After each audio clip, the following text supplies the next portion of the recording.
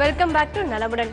Doctor நம்ம occupation treatment பத்தி பேசிட்டு இருக்கோம். தொடர்ந்து பேசும் டாக்டர் ஒரு காலர் லைன் பண்ணிருக்காங்க வணக்கம் குமரவேல் ஆ, மேடம் நான் டாக்டர்கிட்ட பேசலாமா? ஆ பேசுங்க சார் வணக்கம் பேசுங்க சார் சார் நான் ஒரு அஞ்சாறு வருஷமா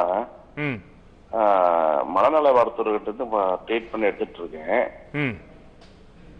அது அந்த டேப்லெட் நான் நைட்ல போட்டு மார்னிங் பாத்தீங்கன்னா ஒரே டல்னஸ் ஆகி ஒரு மாதிரி சோர் சோர்வா இருக்குது. சரி. இதை அவாய்ட் பண்ணிட்டு நான் இந்த மாதிரி அக்குபஞ்சர்ல ட்ரீட்மெண்ட் எடுத்துக்க முடியுமா? நிச்சயமா எடுத்துக்கலாம் சார் நான் முதல்ல இருந்து இந்த நிகழ்ச்சியினுடைய துவக்கத்துல இருந்தே சொல்லக்கூடிய விஷயம் என்னன்னா உடலுக்கு மட்டும் வழங்கக்கூடிய சிகிச்சை போதுமானதல்ல முழுமையானதல்ல அப்படிங்கிறது இந்த மருத்துவ முறையினுடைய அடிப்படை தத்துவம்.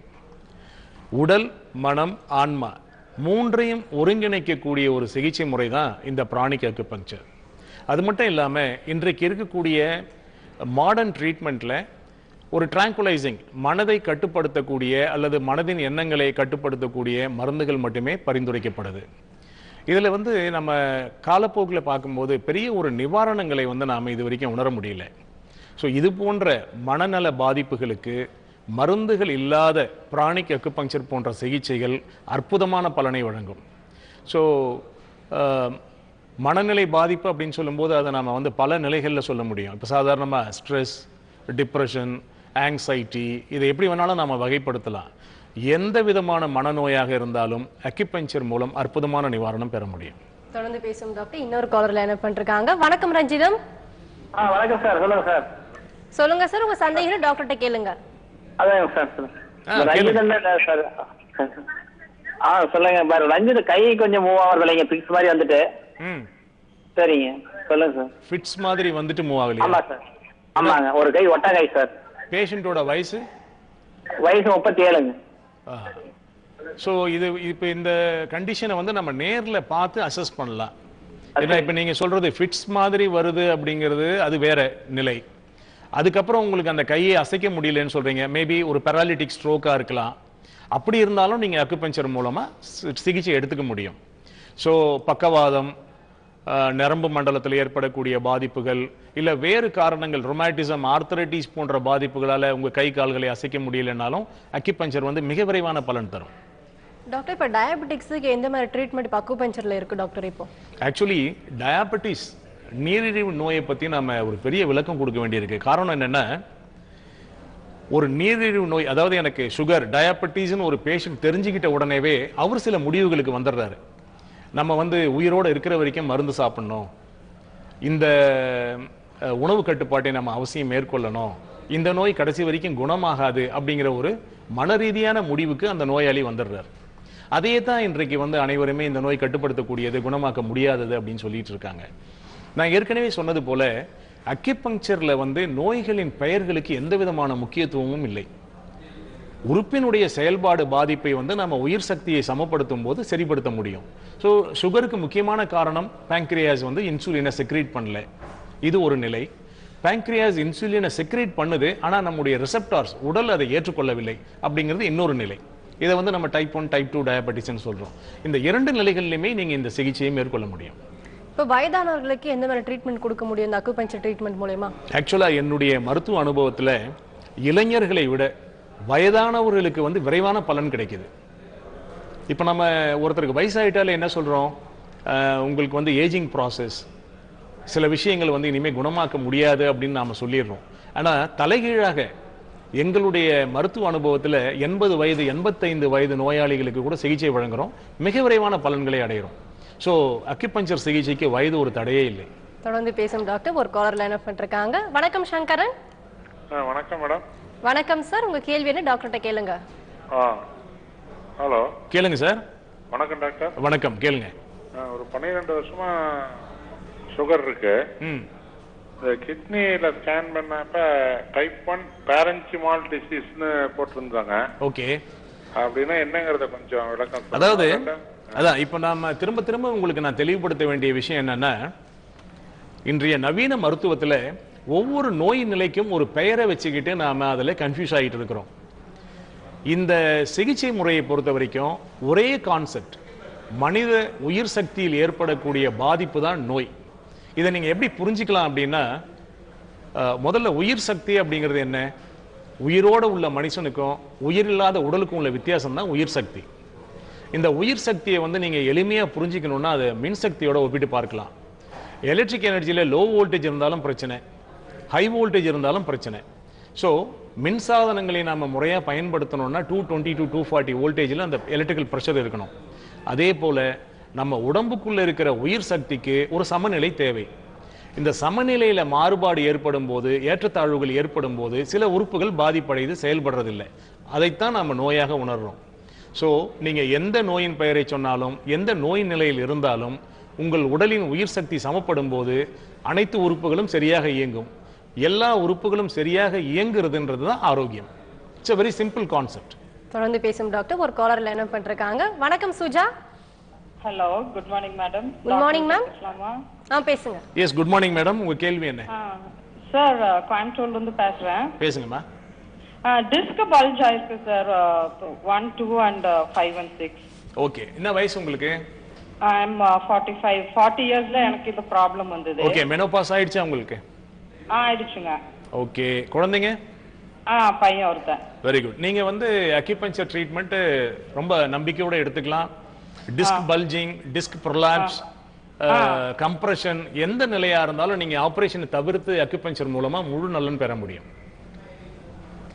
நம்முடைய நம்முடைய உடம்புல ஒவ்வொரு கட்டமைப்பு இப்போ உதாரணமா போன் ஸ்ட்ரக்சரை வந்து நாம ஸ்ட்ரென்தன் பண்றதுக்கான அக்குபஞ்சர் புள்ளிகள் இருக்கு. அதுல நாம சிகிச்சை வழங்கும் போது இவங்களுக்கு சொல்லக்கூடிய அந்த வெட்டபிராஸ்ல ஏற்பட்டிருக்கக்கூடிய அந்த பல்ஜிங் வந்து குணமாகும். டாக்டர் இப்போ அக்யூபஞ்சர் ட்ரீட்மெண்ட் பண்ணும்போது அந்த ஊசி போட்ட வலிக்குமா டாக்டர் இப்போ? நிச்சயமா வலிக்காது. ஆக்சுவலா அக்யூபஞ்சர் மருத்துவத்தினுடைய வளர்ச்சிக்கு இந்த ஊசிகள் பற்றிய பயம் வந்து ஒரு காலத்துல தடையா இருந்தது. ஆனால் இன்றைக்கு நமக்கு கிடைக்கும் இந்த ஊசிகள் வந்து மிக உயர்தரமானவை. சின்ன வலியை கூட நோயாளி உணர மாட்டார். So it's absolutely painless treatment pranic அக்குபஞ்சரோட merits பத்தி கொஞ்சம் சொல்லுங்க டாக்டர். ஆக்சுவலி நோ ட்ரக்ஸ் மருந்துகள் இல்லை அப்படிங்கிறது வந்து மிகப்பெரிய மெரிட் அப்புறம் நோ ஏஜ் லிமிட் எந்த வயதை சார்ந்தவர்களுக்கும் நாம் இதில் வந்து ட்ரீட்மெண்ட் கொடுக்க முடியும்? காஸ்ட் எஃபெக்டிவ் மற்ற மருத்துவ முறைகளோடு ஒப்பிட்டு பார்க்கும்போது இதற்காகும் செலவு வந்து மிக மிக குறைவு. Very simple process to learn and practice இதை கற்றுக்கொள்வதும் பிரயோகிப்பதும் மிக மிக சுலபம். தொடர்ந்து பேசும் டாக்டர் ஒரு காலர் லைன் பண்ணிருக்காங்க. வணக்கம் குமார். மேடம் வணக்கங்க. சொல்லுங்க சார் ஆஹ் எனக்கு வந்துங்க எம்என்டின்னு ஒரு செல் ப்ராப்ளம் அதை வந்து குணப்படுத்த முடியுங்களா? தோல் ப்ராப்ளம் ஸ்கின் டிசீஸ் ஸ்கின் டிசீஸ்க்கும் நீங்க இந்த சிகிச்சை முறை எடுத்து அதான் நம்ம உடம்பில் ஏற்படக்கூடிய பாதிப்புகள் உடலுக்குள்ளிருந்து ஏற்படக்கூடிய நோய் நிலைகள் எதுவாக இருந்தாலும் தோல் நோய்கள் உட்பட அக்கிபஞ்சர் மூலம் நிவாரணம் பெற முடியும். டாக்டர் இப்ப பிறந்த குழந்தைகளுக்கு ஏற்படக்கூடிய இந்த பிரச்சனைகளை இந்த அக்யூபஞ்சர் ட்ரீட்மெண்ட் மூலம் கியூர் பண்ண வாய்ப்புகள் இருக்கா? நிச்சயமா. கன்ஜெனிட்டல் டிசார்டர்ஸ்க்கு வந்து நம்ம சில்ட்ரன் அக்கிபஞ்சர் அப்படிங்கிற ஒரு மெத்தடாலஜி பயன்படுத்துகிறோம் பிறவி கோளாறுகளுக்கு அக்யூபங்க்சர் வந்து ஒரு அற்புதமான சிகிச்சை முறை. குழந்தை பிறந்தது முதலே சில பிரச்சனைகள் இருக்கும். பிறக்கும் போதே அந்த பிரச்சனையோட பிறப்பாங்க. அப்படிப்பட்ட குழந்தைகளுக்கு ஊனமான பாதிப்பு என்ற நிலைகள் தவிர மற்ற நிலைகளில் மிக அற்புதமான நிவாரணம் இந்த சிகிச்சை மூலம் வழங்க முடியும். இன்னொரு காலர் லைன் பண்றாங்க டாக்டர் வணக்கம் காந்தி. ஆ வணக்கம் மேடம் சொல்லுங்க சார் ஆ, ஆம்பூர்லேருந்து காந்தி. ஆ பேசுங்க உங்க கேள்வி டாக்டர்கிட்ட கேட்கலாம். ஆ வணக்கம். ஆ வணக்கம் சார் வணக்கம் டாக்டர் ஆ, வணக்கம். உங்க கேள்வி என்ன? சார் சார் அக்குபஞ்சர் மூலம் ம். வெயிட் லாஸ் பண்றது ஒபிசிட்டி ரிடியூஸ் பண்றது முடியுங்களா? ஆமா உலகத்திலேயே வந்து ஒபிசிட்டி வெயிட் ரிடக்ஷனுக்கு வந்து அக்யூபஞ்சர் பெஸ்ட் சிஸ்டம் அப்படின்னு டபிள்யூஹெச்ஓல ரெக்கமெண்ட் பண்றாங்க. ஸோ மருந்து மாத்திரைகள் எதுவும் சாப்பிடாம உடல் எடையை குறைப்பதற்கு இந்த சிஸ்டம் வந்து மிக நல்ல முறையில் பயன்படுது. எந்த விதமான பக்க விளைவுகளும் பாதிப்புகளும் ஏற்படாது. நீங்க வெயிட் ரிடியூஸ் பண்றதுனால எந்த விதமான பாதிப்புகளும் இல்லாமல் நீங்க உங்க எடையை குறைச்சிக்க முடியும். டாக்டர் இப்ப பேரலிசிஸ்க்கு ட்ரீட்மெண்ட் இருக்கா டாக்டர்? இப்ப அக்யூபஞ்சர் ஆமா மூலமா இப்ப அதாவது இப்போ நியூரோ டிசார்டர்ஸ் அப்படின்னு நம்ம சொன்னோம். அந்த தலைப்பில் வந்து இந்த பேராலிசிஸ் அப்படிங்கிறது வருது. மூளையினுடைய ஒரு பகுதியில் பாதிப்பு ஏற்படும் போது உடலினுடைய ஆப்போசிட் சைடு வந்து இயக்கம் இல்லாமல் போயிடும். இதை தான் நம்ம வந்து பேராலிசிஸ் அப்படின்னு சொல்கிறோம் ஹெமிப்ளீஜியான்னு சொல்கிறோம் இந்த நோய்க்கு அக்கிபங்சர் மிக அற்புதமான ஒரு வரம். ஏன்னா இந்த நோய் பாதித்த உடனே யாருமே அக்குபஞ்சருக்கு வர்றதில்லை. அவங்க ரெகுலர் ட்ரீட்மெண்ட்லாம் முடிச்சுட்டு மிகவும் நாள் கடந்து தான் வராங்க. ஆனால் இந்த பாதிப்பு ஏற்பட்ட உடனே இந்த சிகிச்சைக்கு அவங்க உட்படுத்திக் கொள்ளும் போது மிக விரைவான பலனை அடைய முடியும். இப்போ எதனா ஒரு நோய் கியூர் ஆயிடுச்சு அக்யூபஞ்சர் மூலம் கியூர் ஆயிடுச்சு டாக்டர் இப்போ ஃபியூச்சர்ல அந்த நோய் வர பாதிப்பு இருக்கா டாக்டர் இப்போ? Actually not only in acupuncture நீங்க எந்த சிஸ்டம் ஆஃப் ட்ரீட்மெண்ட் எடுத்துக்கிட்டீங்கனாலும் ட்ரீட்மெண்ட்டையும் மெயின்டெனன்ஸையும் கன்ஃபியூஸ் பண்ணிக்க கூடாது. நோய் இருக்கும்போது நீங்க சிகிச்சை எடுத்துக்கிறீங்க. ஃபார் எக்ஸாம்பிள் ஒரு அல்சர் பேஷண்ட் வந்து ட்ரீட்மெண்ட் எடுத்துக்கிறாரு. அவருக்கு அல்சர் சரியாயிடுது. அதுக்கப்புறம் அவர் உணவுல ஒரு கட்டுப்பாட்டை ஃபாலோ பண்ணோம் இல்லையா? ஸோ அந்த ஃபாலோ இருக்கும்போது லைஃப் லாங் இந்த பிரச்சனை வந்து மீண்டும் வராது. இப்போ இந்த காஸ்மெட்டாலஜி சம்பந்தமா இப்போ ஸ்கின் இந்த ஒபிசிட்டி சொன்ன மாதிரி இந்த அக்யூபஞ்சர் என்ன ட்ரீட்மெண்ட் இருக்கு இப்போ? Actually we specialise in cosmetic acupuncture cosmetic பிரச்சனை வந்து ஹேர் ஃபாலிங்கில் துவங்கி பெண்களுக்கு வந்து பெண்களுக்கு முடி உதிர்தல்ன்றது ரொம்ப அதிக முக்கியத்துவம் கொடுப்பாங்க. இப்போ ஆண்களுக்கும் அதிகமாக ஹேர் ஃபாலிங் இருக்கு.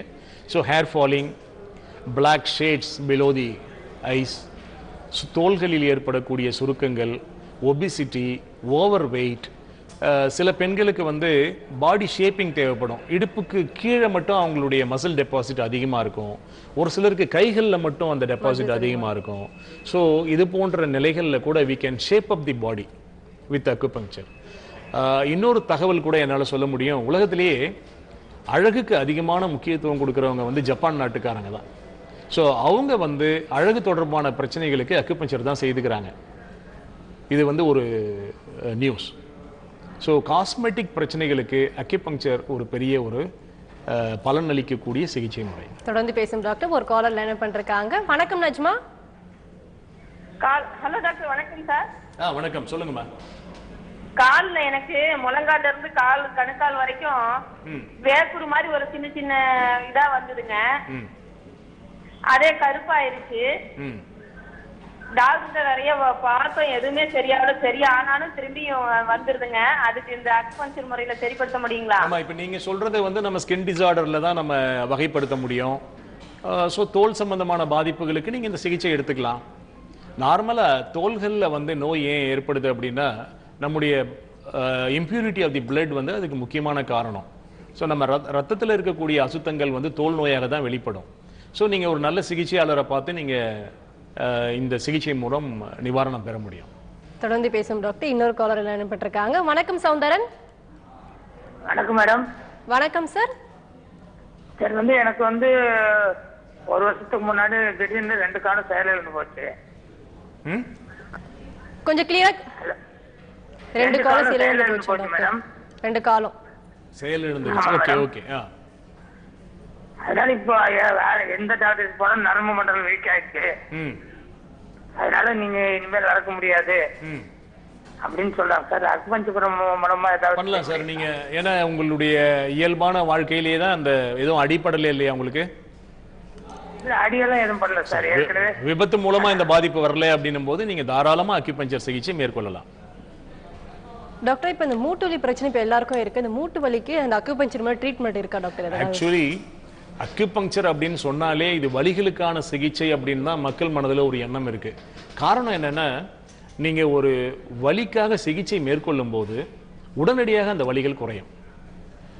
ஸோ நம்ம உடம்புல ஒரு அக்கிபஞ்சர் ஊசியை நம்ம செருகின உடனே வலிகளை இயற்கையாக குறைக்கக்கூடிய அந்த என்டார்ஃபின்ஸ் நமக்கு வந்து செக்ரீட் ஆகிடுது இதை வந்து மருத்துவ ஆராய்ச்சியாளர்கள் உலக அளவில் நிரூபிச்சிருக்காங்க. ஸோ பெயின் ரிடக்ஷன் அப்படிங்கிறது அக்யூபங்க்சர்னுடைய மிகப்பெரிய ஒரு அட்வான்டேஜ் எந்த வழியாக இருந்தாலும் இம்மீடியட்டாக நமக்கு ஒரு ரிலீஃப் கிடைக்கும் அக்குபஞ்சர் சிகிச்சை